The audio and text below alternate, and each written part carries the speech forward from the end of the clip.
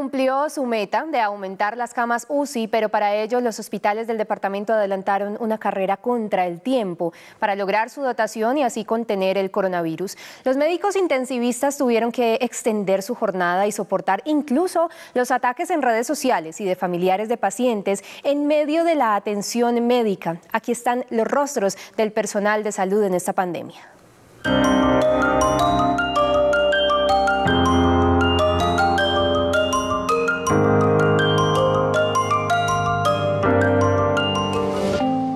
La pandemia obligó a los hospitales a ampliar su capacidad y tecnología. En el Hospital General las camas UCI se multiplicaron. Somos un hospital que básicamente se desborda en cuidados intensivos. Nosotros el marzo de este año teníamos 23 unidades de cuidado intensivo. Hoy tenemos 93 unidades de cuidado intensivo y todavía continuamos creciendo.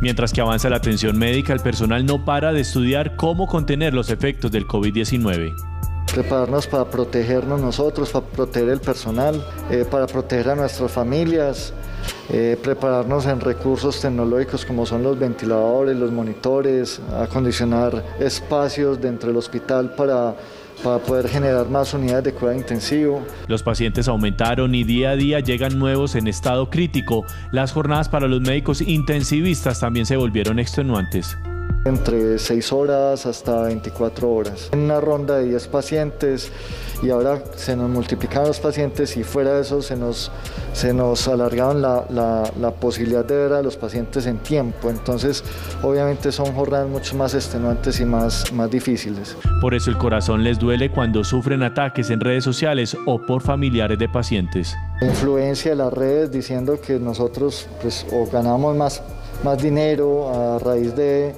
de la enfermedad o que tenemos más beneficios a raíz de la enfermedad es totalmente una, eh, eh, falso. O sea, mi, vida lo único que hizo fue que se multiplicó mi trabajo por el mismo salario.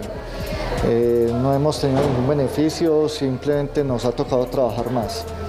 Eh, exponernos, ser la primera línea de defensa. La carga laboral y psicológica aumenta con el paso de los días, pero saben que su labor es vital para evitar que el virus avance en su propagación.